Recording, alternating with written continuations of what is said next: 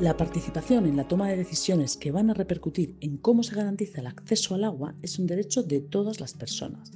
Esta participación debe ser activa, libre y significativa, es decir, libre de coacción y de manera que pueda influir realmente en las decisiones.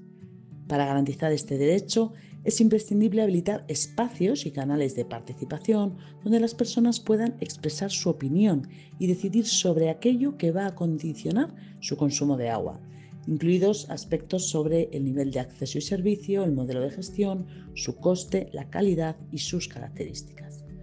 Con frecuencia, grupos de población como las mujeres, las personas mayores, las personas con discapacidad o las minorías étnicas quedan fuera de los procesos participativos, bien porque no han sido convocados o porque ellas mismas no se sienten involucradas. Para evitar que haya colectivos infrarrepresentados o que queden fuera de los procesos participativos, la población debe de conocer de antemano quiénes, cómo y cuándo podrán participar y tendrán las capacidades para hacerlo.